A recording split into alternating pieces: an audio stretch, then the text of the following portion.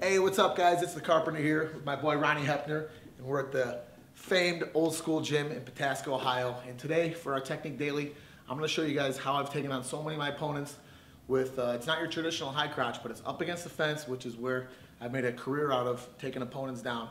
So it goes a little something like this. Check it out. So I'm in on a high crotch, and of course my head is always up on, on your takedown.